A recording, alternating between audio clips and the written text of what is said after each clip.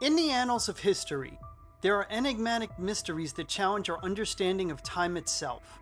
One such mystery is the phantom time hypothesis.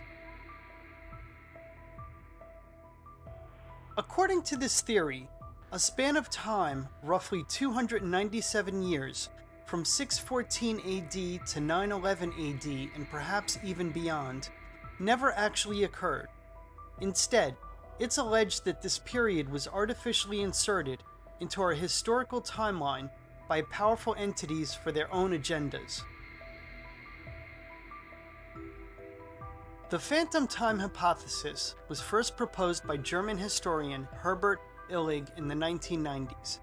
Illig argued that the Roman Emperor Otto III, along with Pope Sylvester II and Byzantine Emperor Constantine VII, conspired to fabricate this error in order to position themselves at the beginning of the new millennium, AD 1000.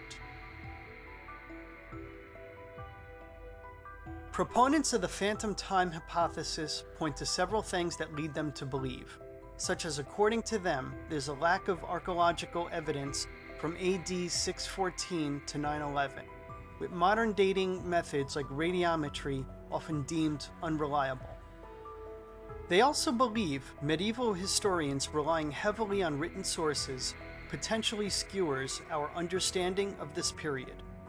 Additionally, Romanesque architecture in 10th century Western Europe suggests a shorter time span since the Roman era, and discrepancies in the introduction of the Gregorian calendar led Illig to conclude that roughly three centuries might not have existed.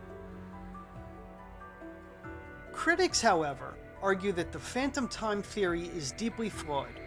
They point out that the theory relies on cherry picked evidence and ignores a vast array of historical records, archaeological findings, and scientific dating methods that corroborate the existence of the missing years. That it lacks credible evidence and fails to withstand scrutiny when subjected to extensive historical analysis. Ancient astronomical observations, including solar eclipses before 600 AD, contradict Illig's theory with precise events such as Pliny the Elder's report in 59 AD having confirmed eclipses. Archaeological findings and dating methods like dendrochronology also dispute the existence of phantom time. Moreover, the Gregorian calendar reform aimed to align Easter with the vernal equinox as it was in 325 AD, indicating no manipulation of historical time periods. Moreover, many significant events and cultural developments occurred during the disputed period, including the rise of Charlemagne, the Viking Age, the Islamic Golden Age, the rise of the Tang Dynasty in China, and the spread of Christianity throughout Europe. So, where does the truth lie?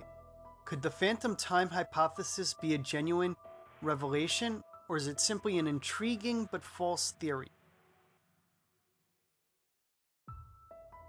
What do you think? Let us know your thoughts and theories in the comments below.